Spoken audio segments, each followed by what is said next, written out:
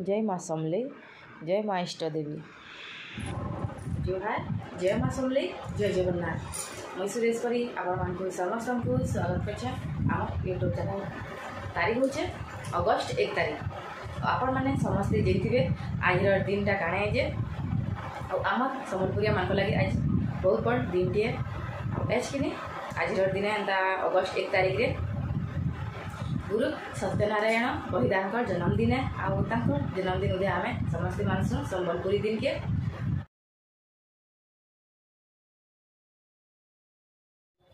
ଉଣେଇଶହ ତେର ମସିହା ଅଗଷ୍ଟ ଏକ ତାରିଖ ସୋନପୁର ଜିଲ୍ଲାରେ ଜନ୍ମଗ୍ରହଣ କରିଥିଲେ ଆଉ ତାଙ୍କର ବାପାଙ୍କ ନାଁ ହେଉଛି ମିତ୍ରଭାନୁ ବହିଦାର। ତ ସେ କି ସବୁବେଳେ ଚେଷ୍ଟା କରିଥିଲେ ଆମର ସମ୍ବଲପୁରୀ ଭାଷାକେ ଆଗକେ ବଢ଼ାବାର ଲାଗି। ଆଉ ତାଙ୍କର ଚେଷ୍ଟାରେ ଆମର ସମ୍ବଲପୁରୀ ଭାଷା ଏତିକି ଦୂରକେ ବଢ଼ିପାରିଛେ ଆଉ ସେ ସବୁବେଳେ କହୁଥିଲେ ଆମ ସମସ୍ତଙ୍କୁ ସମ୍ବଲପୁରୀ ଭାଷା ଆମେ କଥା ଲାଗ୍ମା ସମ୍ବଲପୁରୀ ଖାଇମା ସମ୍ବଲପୁରୀ ପିନ୍ଧମା ସମ୍ବଲପୁରୀ ନାଚମା ବୋଲି।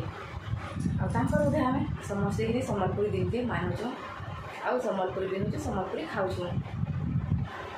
ଆଉ ଆମେ ସମସ୍ତେ କିରି ସମ୍ବଲପୁରୀ ଆଉ ବୋଲି ଆମେ ଗର୍ବ ଅନୁଭବ କରୁଛୁ।